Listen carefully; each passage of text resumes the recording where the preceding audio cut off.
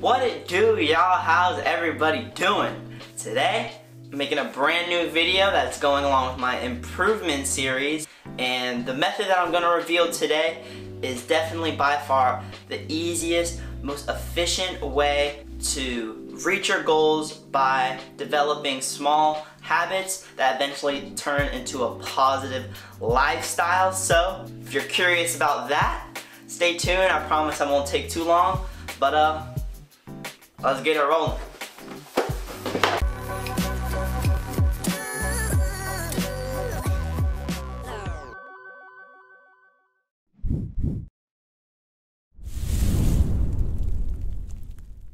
So if you read the title of my video or you looked at my thumbnail, you can probably infer that I am referring to my habit tracker or my habit log.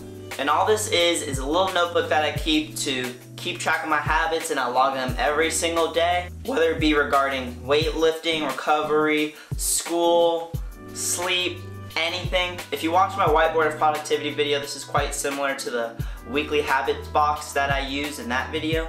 And very similarly to the whiteboard, anybody can use this. It's so versatile. You can put whatever you want in this log that tailors to your specific goals or the specific lifestyle that you seek.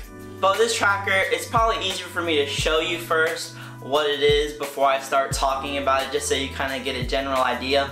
I create a new one of these every week on Sunday night so it's ready for me on Monday. And basically, I just put the days of the week in one column and then all the other habits that I want to master and be more consistent with in the other columns. So for me, some things that I always want to keep track of or I'm always trying to stay consistent with is body weight and sleep. That could be similar to you if you're a weightlifter. You want to keep track of your body weight, see if you lose weight, see if you gain weight. And with sleep, kind of just making sure you're staying on top of that. But the rest of the things can be absolutely anything. I like to include a lot of things on diet and how much protein I have for the day. And another thing I put a big emphasis on is in my recovery. If you've watched my recovery video, you'd be able to know that I am definitely one to like to focus on recovery. And so just making those recovery methods habits so that eventually it's just second nature, you're doing it all the time. And I think one of the most beautiful parts about this and where the results come in is that at the very bottom, I have a row for my goal, and that could be either the goal total, say I want to ROMWOD five times that week, right? I put goal five times, and so I put a check mark in every day that I do ROMWOD, and so at the end, I tally it up, total it at the bottom, and see if I reach my goal. That goal can also be with averages. So just averaging out how much sleep you got. So say you add nine and then six and then seven and you find that your average was actually eight hours of sleep and you reach that goal. All of it's just up to preference, just like really the entirety of this tracker, the habits, the goals, and what works best for you and what you like the best. So then at the very bottom, you put your total and your average.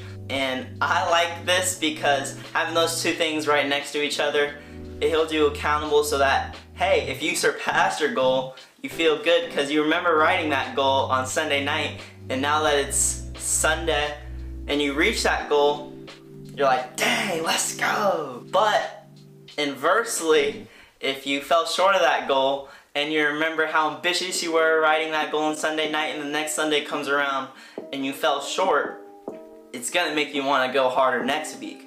So then after a week, after you fill everything out, after you compare your goals to your total or your averages that you actually got, and you find that maybe some you exceeded, some you fell short, I like to then put bullet points at the bottom of the things that I did good on and just celebrate that and talk about what I did to consistently keep up with that so that next week that can carry over.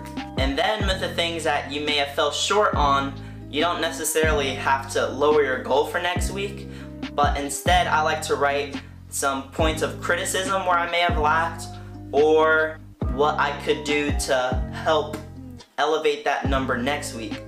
So for example, if you find that maybe you're not drinking enough water or the amount of water that you want to drink daily, you could say water was low, maybe download a water tracking app or carry around a bigger bottle with you throughout the day. And after that, maybe you ingrained one of your resolutions into a lifestyle and it's easy for you and you're doing it every week without fail. So there's no need to have a habit on there that you're already mastering 100% of the time. You can switch that out and maybe add something else that you need to work on because I'm sure there's always things that you're going to want to work on. So just continuing to challenge yourself.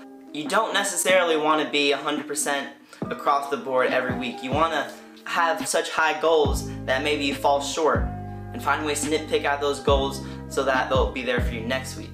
So really that's the entirety of the health tracker. It's quite simple, um, but yet I feel like it's so effective and so important because a lot of times people try to look at a big goal or long-term goal or they set a new year resolution and it seems so preposterous at some point but you got to really break it down to the smallest level and start to just make it a part of your routine once a week then make it part of your routine twice a week and just increasing that and you have to put it on paper and fail and see that you fell short of your goal in order to want to do something about that or you're just going to be content with where you're at.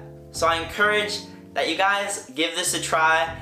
You can maybe start off with three habits at first. Try to make those things a part of your lifestyle. You can design the cover. You can do whatever you want. This is your habit tracker. This is just simply a concept that I found to work for me and maybe it can work for you. I hope you guys found this video insightful or maybe got some ideas from this video. Stay tuned next Monday at 9 a.m. for our video because um, I'll let you in on a secret. There's gonna be a special guest coming to DeLand.